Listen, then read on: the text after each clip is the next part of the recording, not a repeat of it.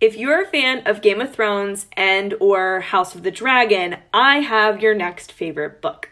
Let me introduce you to The Cruel Prince, a fantasy fairy series that is technically young adult but has some kind of despicable characters just like Game of Thrones.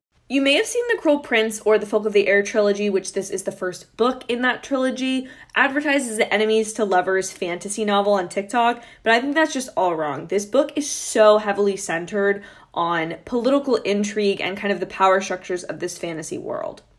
Everyone in this book and series is vying for power or some type of control in some way, and that is what makes this so similar to Game of Thrones, in my opinion, and I think will really hit home with any fans of those original television series. Additionally, the main character is human, so there is like a really great entry point for those unfamiliar with Fae fantasy books.